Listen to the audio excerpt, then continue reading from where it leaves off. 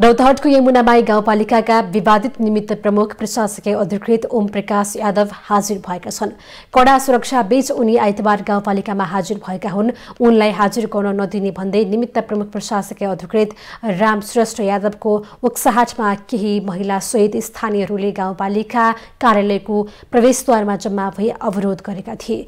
मन्त्रालयले पछाएको प्रमुख प्रशासकीय अधिकृतलाई हाजिर गराउन स्थानीय प्रशासनले बाक्लो मात्रामा सुरक्षाकर्मी परिचालन गरेको थियो। संघीय मामिला तथा सामान्य प्रशासन मन्त्रालय मङ्सिर बाइस गते जिल्ला समन्वय समिति रौतहटका शाखा अधिकृत यादवलाई निमित्त प्रमुख प्रशासकीय अधिकृतको जिम्मेवारी तोकेपछि विवाद बढेको थियो। गाउँपालिकामै कार्यरत कविराज सातौँ तहका कर्मचारी राम श्रेष्ठलाई मन्त्रालयले मङ्सिर तेह्र गते प्रमुख प्रशासकीय अधिकृतको जिम्मेवारी दिएको थियो।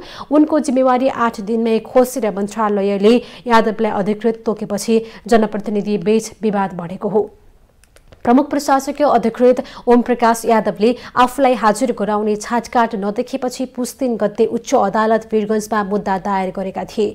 रिट उपर सुनवाई गर्दै अदालतले उनलाई हाजिर गराउन अन्तरिम आदेश जारी गरेपछि कड़ा सुरक्षा बीच उनी हाजिर भएका हुन्। स्थानीय तह सञ्चालन ऐनले व्यवस्था गरे अनुसारको प्रमुख प्रशासकीय अधिकृत हाजिर भएपछि विधि र शासनको पालना भएको भन्दै अब विकास निर्माणको कार्य द्रुत गतिमा अगाडि बढ्ने सुपालिकाका वडा अध्यक्ष अश्वनी राय यादवको भनाइ छ। प्रमुख प्रशासकीयकृतको दरबन्दी कायम रहेकोले तत्काल निमितले चलाइरहेको थियो। निमितलाई हटाएर प्रमुख प्रशासकीय पठाएर हिजो जुन हाजिर भएको छ पुरा यमुनामाई जनता हामी सबै एकदम खुसी छु कि सबैलाई विकासमा अगाडि बढ्नु हुनुहुन्छ।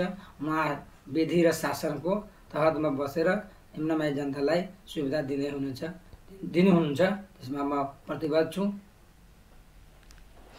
गाउँपालिकाका अध्यक्ष मोहम्मद साउदले कामकाज गराउन असमर्थ रहेकाले हाजिर गराउन नसक्ने भन्दै संघीय मामिला तथा सामान्य प्रशासन मन्त्रालयलाई पत्र पठाए पनि अदालतको आदेशपछि ओमप्रकाश यादव स्थानीय प्रशासनको सहयोगमा हाजिर भएका हुन्। यो पालिकामा बितेका एक वर्षमा छजना प्रमुख प्रशासकीय अधिकृत फेरिएका छन्।